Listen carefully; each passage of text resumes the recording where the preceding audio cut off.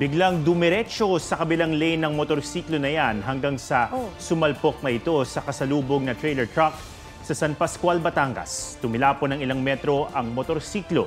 Dead on arrival sa ospital ang rider. Batay sa investigasyon, may bagay na kinukuha ang rider sa kanyang motorsiklo kaya hindi niya napansin na kumabilang lane na siya.